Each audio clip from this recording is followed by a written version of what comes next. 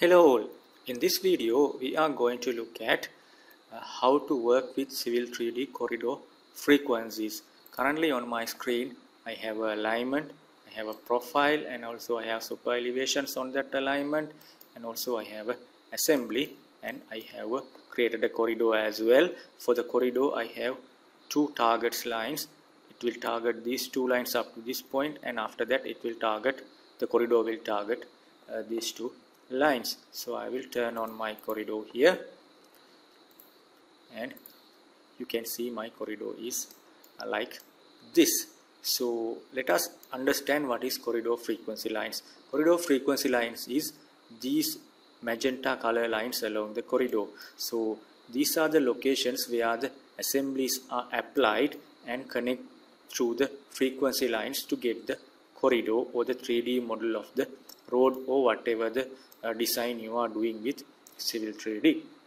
So if you go to the corridor properties and access the corridor frequencies from here, here or here. So from here you can access the region properties. From here you can access the total baseline properties or all the frequencies and from here you can apply to all baselines uh, according to the situation. So currently I will go to here and change the frequencies.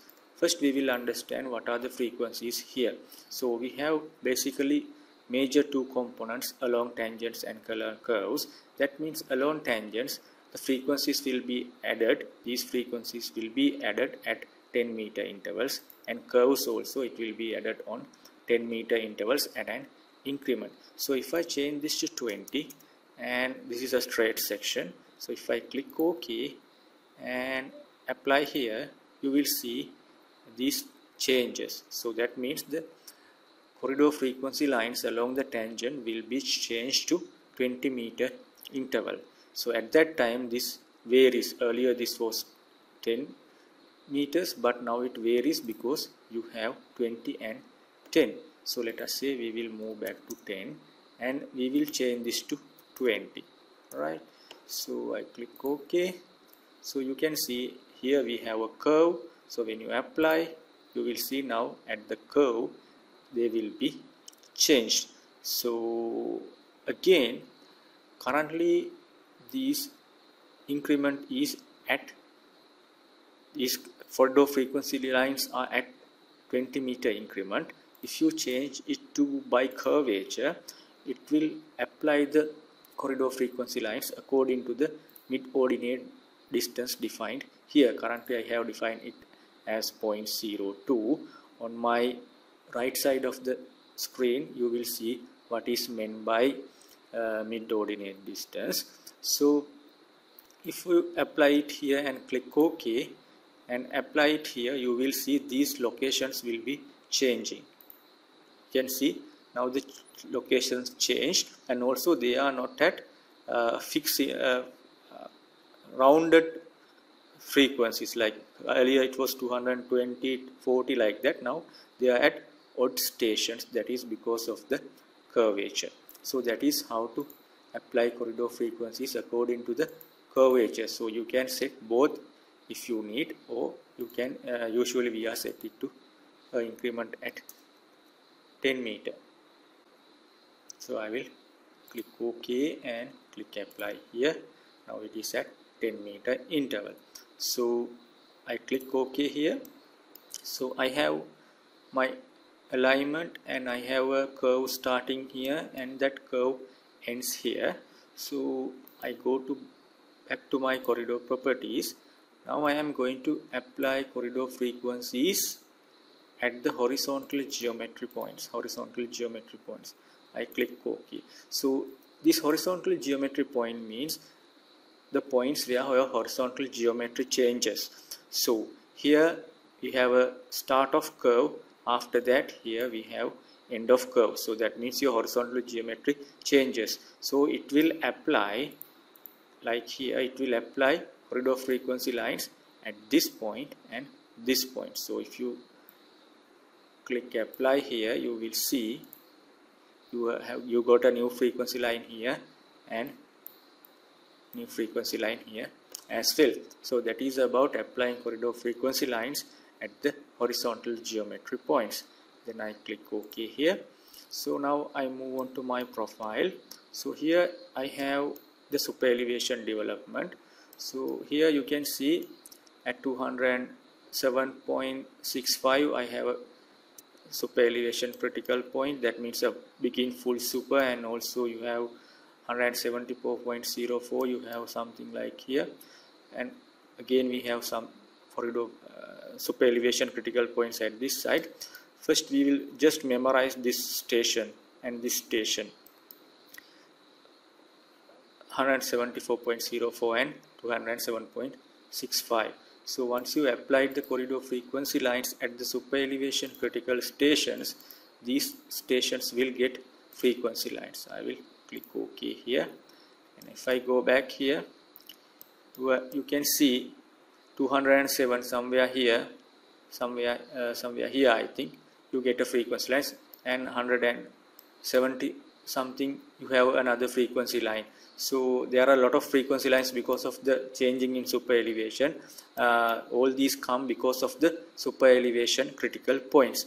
So again I have to tell you the if you increase the number of corridor frequency lines that means your corridor is more accurate. So if you have more frequency light lines at every changing point that means your corridor is more accurate. In the meantime you have to understand that more corridor frequency line means more complex corridor and your uh, speed of the model will be uh, drastically uh, decreased because of the corridor frequency lines. Well again we will move back to the corridor frequency lines. So that is about those horizontal baselines. About the vertical baselines along vertical curves it will apply corridor frequency lines. Currently I have 1000 here but I don't have vertical curves that has a distance of or the vertical curve length of 1000 so it will not apply any vertical curve uh, frequency lines here. So if I change this to 10 meter interval it will apply corridor frequency lines at every 10 meter interval along the corridor. But sometimes uh, depending on the horizontal baseline or horizontal geometry horizontal frequency lines these may coincide with each other. So I will if I change this to let's say 5 you will see uh, frequency lines will be added at 5 meter intervals. So you can see you have a vertical curve here at a station like 110 105 110 115 at 5 meter interval you should have frequency lines. You can see here 100 105 110 15 20 so you have the corridor frequency lines. So in the meantime as I told earlier at vertical geometry point means at start of curve and end of curve of the horizontal vertical geometry. That is what is meant by these two. Again at high low point means if you have a crest vertical curve you have a high point. So it will the high point station will be shown here if you go to the vertical profile. So it will at the uh, geometry point at high point. So if you have a sag curve it will have you will have a low point. So it will also add a horizontal vertical geometry point at low points uh, which makes the corridor more accurate. So I will apply and they will be applied. I am not going to show it to you. Then I am going to the uh, one of the most important parts about targets geometry points target points of the corridor. So the corridor frequency lines uh, can be applied depending on the target points. So I am currently using Civil 3D 2024 most of the Civil 3D 2000 uh, and up until I think 2018 you have these kind of things. And uh, also after 2015 you have these things. Uh, sometimes if you have a very old version these things might not be here. Right. So now I am moving on to offset target geometry points. So before that we will go to the corridor and see how the things work. Offset target geometry point means this is the offset this is the target and this is the target. Offset target geometry point means the geometry points of the target. So you can see it is in this target this target line change the direction from here and also it change direction from here. So this is a geometry point uh, and this is not a geometry point because this have a discontinuation here. So I will press escape and I am going to corridor properties and go to frequency frequencies and I will apply yes here and click OK. So when I click apply you will see a frequency line appearing here at this target geometry point you can see it applied. So once it applied the corridor becomes more accurate. Otherwise it will have a corridor line like this which is not very accurate. So that is about that one. Then I will move back to the corridor frequencies and go to frequency line editor.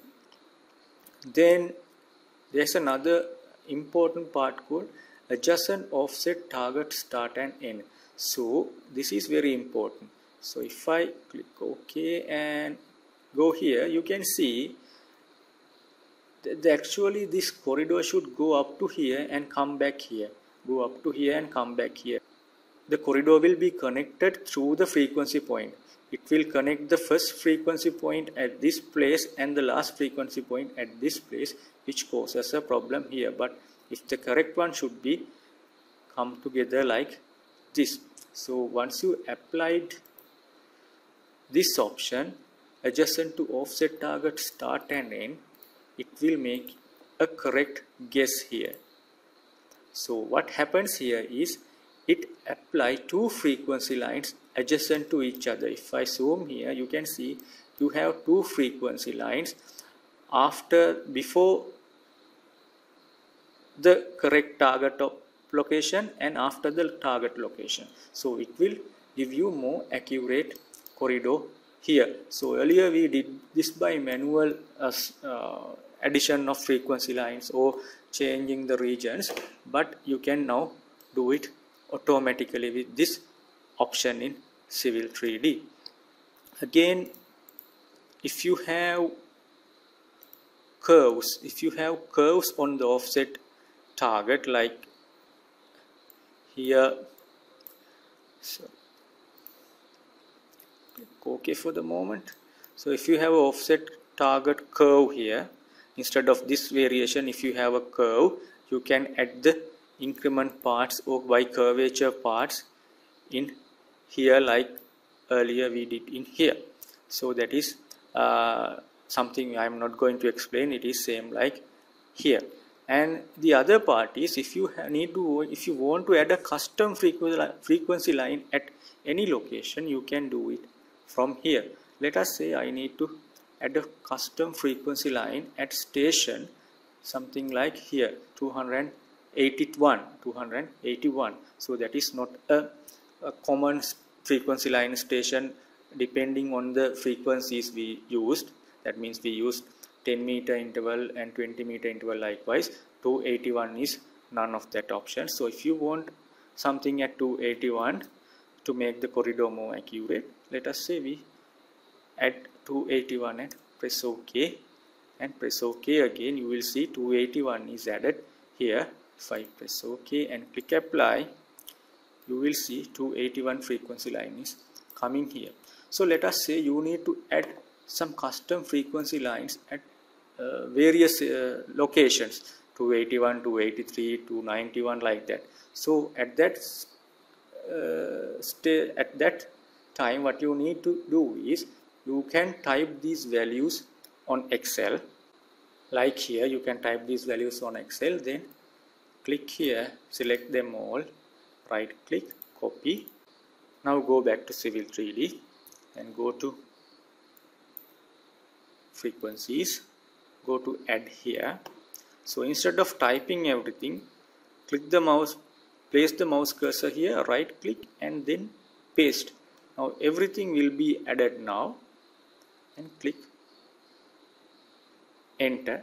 And you will see every frequency line station is now added and I will click OK and click ok. Now you will have so many custom frequency lines at various intervals according to your needs. That is how to add and how to understand the corridor frequency lines in civil 3d so more the frequency lines you have more the accurate of your corridor but you have to uh, make sure that it might make your uh, performance of civil 3d little bit uh, slower because of the number of uh, frequency lines you used